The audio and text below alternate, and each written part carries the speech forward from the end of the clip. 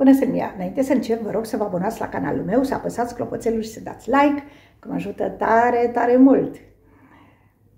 Petrecerea, ați văzut cum s-a terminat. Chiar am râs. Din cauza lui Albert. O prostii face. El a mai spus asta, nici ar fi trebuit să fie acolo. Nu înțeleg de ce mama lui insistă să-l însoare. Nu înțeleg. Ea, ea cu ideea, nu el. El nu vrea. Ați văzut că a refuzat toate fetele. A spus, toate mi-au plăcut, dar nu vreau pe niciuna. Așa că lasă pe el să decide, nu mama sa. Săracul s-au dus să danseze și ei pe Valentin, parcă era pe băncuța aia și au dansat. Cum să te urci pe băncuța? Nu era destul loc jos. Dar vreau ei să iese în evidență. Chiar nu înțeleg pe unii dintre ăștia. Asta mi amintește, înainte să plec din România, lucram la o discotecă în Băile Herculane. Îi zicea discobar. Și aveam niște mese, dar mesele erau uh, foarte fragile. Să pui pahare și cafe, țineau, dar rest nu. Și aveam trei mese mai late așa și aveam discotecă sâmbătă. Fiecare sâmbătă. Cineva s-a urcat pe masă. A dansat cât a dansat, și a căzut, dar nu că a căzut pur și simplu. A luat și televizorul, că era sus un televizor, în cădere, s-a agățat și era un fir de la televizorul, cablu care trecea pe acolo, s-a ținut de el și a venit grămadă cu masa, cu televizor și cu totul peste el. Deci este periculos să dansezi pe masă, că nu știi ce se întâmplă. Ori poți să alungi și poți să te lovești rău de tot, să-ți un vreo coastă sau la cap sau, Doamne ferește, și altceva mai grav. Chiar nu înțeleg, dar nu i-a văzut nimeni să-i spună, de fapt, știți uh, ce îmi place mie la staff? Le dă foarte mult alcool. Foarte mult. I-am zis uh, când eram în uh, Casa Mireasa, unei femei din staff, care avea funcție, cred că era una dintre producătoare, nu știu, ca să nu le mai dea alcool, că după petrecere zberau și băteau în masă și cântau și nu puteam dormi. Și știi ce mi-a răspuns? Ce să facem, ipocăim acum? Păi dai, dai puțin, să aibă fiecare un pahar, dar nu foarte mult, vedeți ce se întâmplă. Cum a fost și în sezonul trecut cu Liviu de la Craiova, Beat, când a spart pe acolo și a vorbit, să nu mai zic cum. Foarte mare greșeală asta. A stafului, bineînțeles. Dar măcar a făcut curat după aia. Am văzut că s-au repezit fetele cu mopul, au adunat și Liviu s-a repezit, a adunat pe acolo ce spărsese. Erau niște pahare, nu era mare lucru, erau niște pahare și resturi de mâncare, nu știu ce a mai fost. Apoi a sunat și Bongu să plece. Au plecat, fiecare la casele lor. După aceea a venit iar Albert și cu mama lui și au terminat de făcut curat. Pe normal că ei au fost de vină și mama lui, mama lui trebuie să-l ajute. Dar s-a distrat Albert, a văzut că s-a distrat, a dansat cu fetele singure și prilej ca să se certe Ionela cu Adriana. Ele se ceartă din cauza... Ionela e foarte frustrată Că nu mai, nu-i mai dă atenție Albert. De asta. Iar Adriana ar vrea cu Albert, dar nu vrea el, v-am spus, nu vrea pe nici care. Și a băgat uh, ca... E supărată că n-a vrut să-i facă unghiile. Păi ca ce chestie să-i facă unghii? Ca ce chestie? Să-și le facă singură, adică nu e stare să-și facă singură niște unghii. Dacă nu e stare să nu și le facă, să le șteargă, să le lasă așa. Dar lor le trebuie unghii de 2 metri, cu desene, cu alea. Eu cum am trăit toată viața fără unghii făcute, foarte rar mi le fac, nici acum nu le-am, vedeți? Nu le-am. Pentru ce? Sunt aici la lucru, spăl vase, fac curat, ce fac, sau cu mâinile în apă, fac unghiile. Când plec undeva, da, când plec. Dar asta e frustrare Ionelei. Am văzut că după aceea i s-a făcut rău, dar s-a făcut rău. Păi da, că dacă vede mama ei care urmărește că e rău, iar o să o sune și iar o să înceapă să o cheme acasă, că nu are ce căuta acolo. Adevărul e că nu prea are ce căuta. Nu prea are, că ați văzut ce au făcut celelalte fete cu băieții noștri. Nu că sunt uh, cam ceva împotriva lor, nu, nu, nu, eu nu am, repet, nu am împotriva omului, am împotriva faptelor care le fac. Asta am. Dacă fac ceva rău, pentru că oamenii toți suntem la fel. Credeți că eu n-am făcut lucruri rele? Ba da, și poate o să mai fac, nu știu. Încerc să fiu un om mai bun, dar nu pot să știi. Așa că eu nu am nimic cu omul în sine.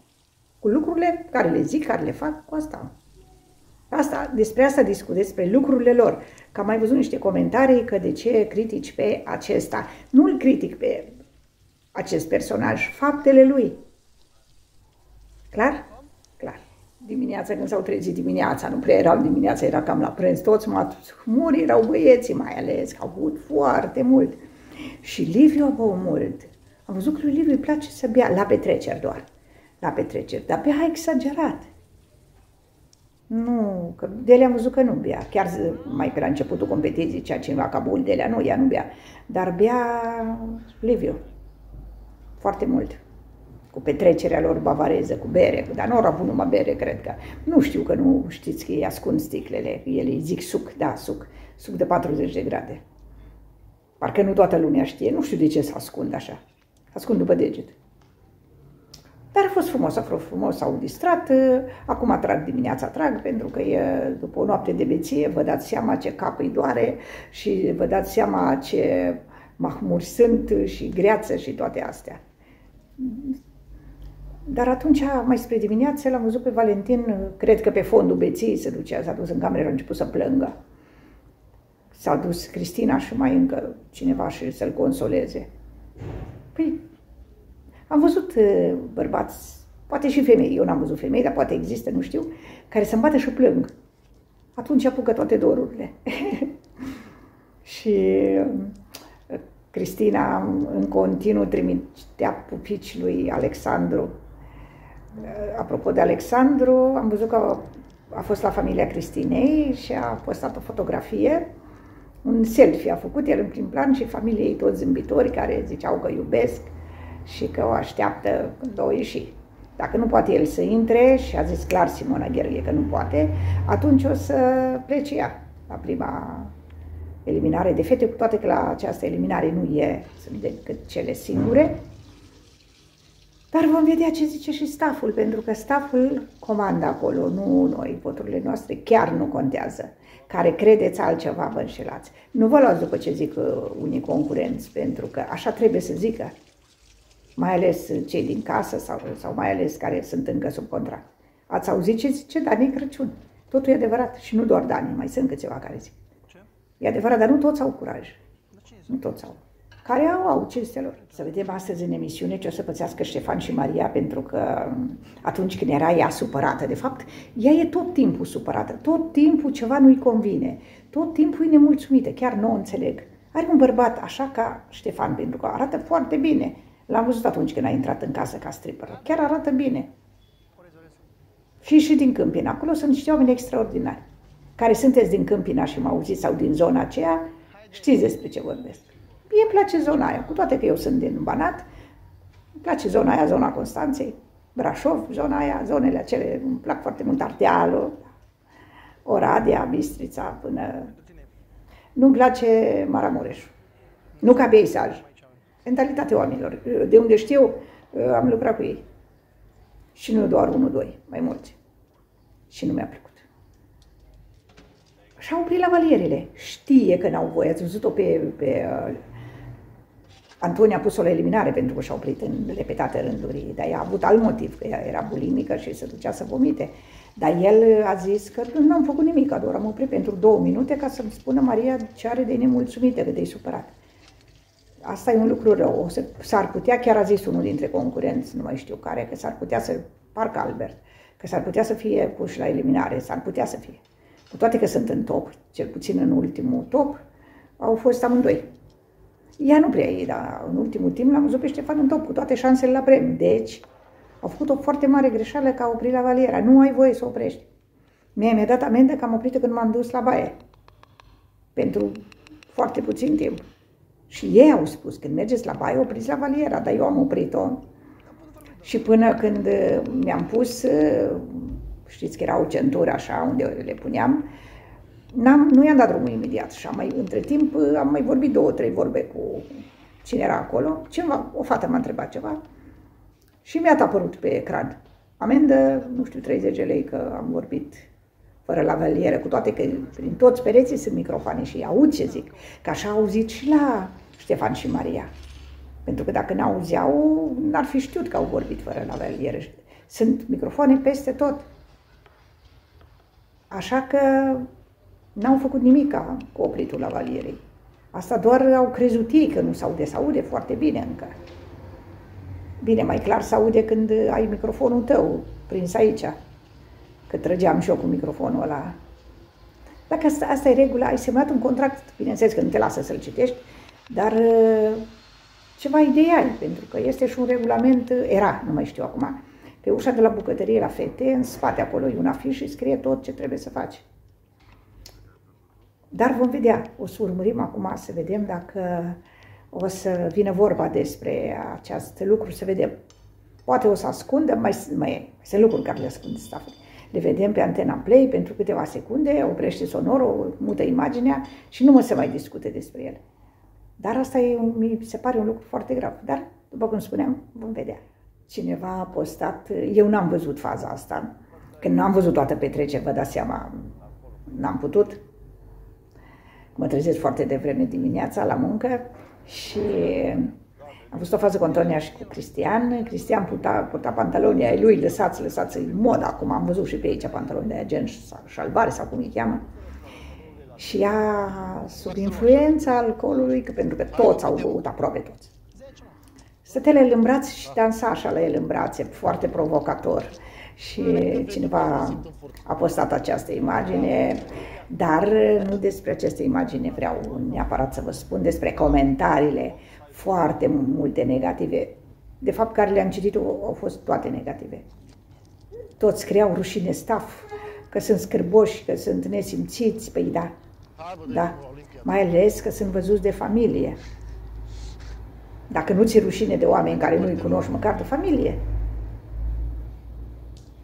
Eu când uh, eram cu familia mea sau cu familia tatălui copiilor, nici măcar nu ne țineam de mână față de părinții mei sau ai lui sau ce să mai vorbim de pupat sau altceva, tandrețuri, nu.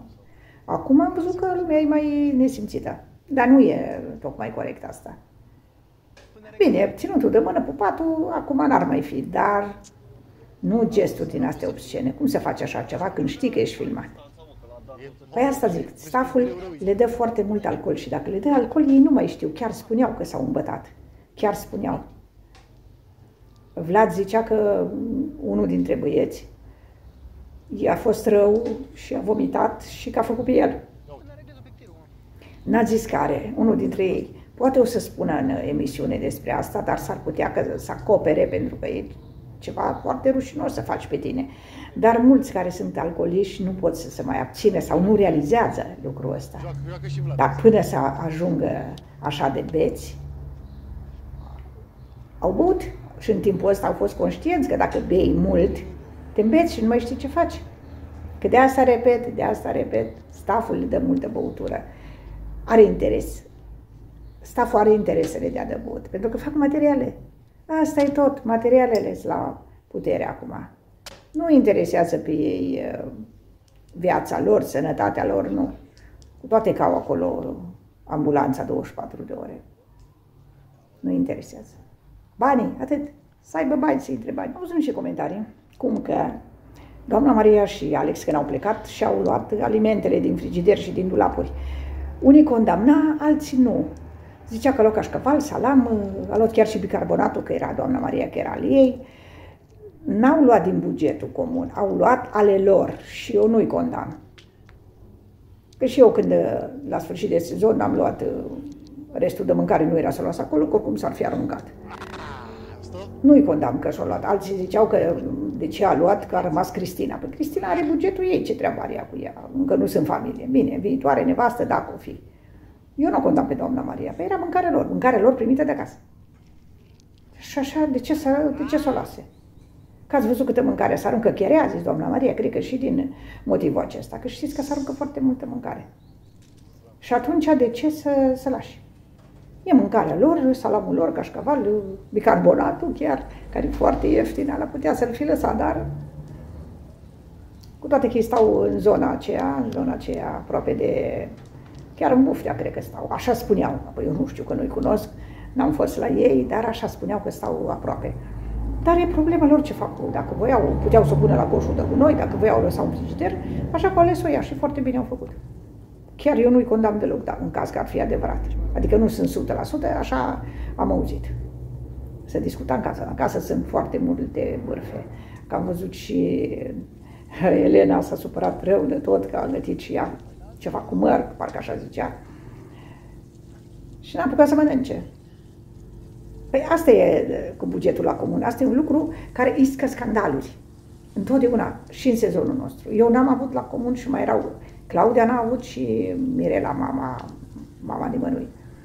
Noi n-am avut la Eu fiind vegan, nu puteam să fiu la comun cu celelalte, pentru că produsele mele erau mult mai scumpe și nu mi le aduceau toate. Foarte rar, în șase luni, dacă mi-a adus de cinci ori, să zicem, mult e, toate produsele de pe listă. Cu bugetul la comun așa este. Fiecare ar trebui să aibă măcar uh, o parte din bani ca să-și cumpere ceva pentru el. Dacă el a vrut uh, creveți sau ce a vrut din banii ei, să-și fie creveți. Nu să-i taie Maria care n-avea niciun rost să țină lista de cumpărături în mână. Nu-i fata săptămânii. Cam atât am avut uh, despre concurenții noștri. Vă doresc în continuare o zi plăcută și la revedere!